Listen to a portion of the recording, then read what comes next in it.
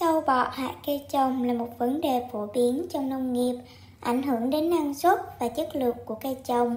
Hãy dùng ngay thuốc trừ sâu TT Glim 270 SC, bao gồm các hoạt chất là chlorothianidin và trlavuyuron.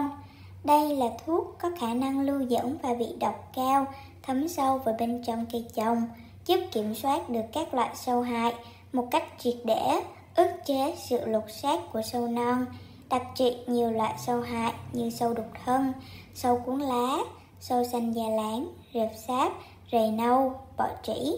Đặc biệt, thuốc rất là hiệu quả trong việc diệt trừ sạch rệp sáp trên cây cà phê. Đối với cây lúa, ta pha 30 đến 40 ml thuốc cho bình 25 lít nước. Thời gian cách ly là 10 ngày. Bà con muốn mua có thể liên hệ số hotline 0776 400 038 hoặc truy cập website kỹ sư huy.vn.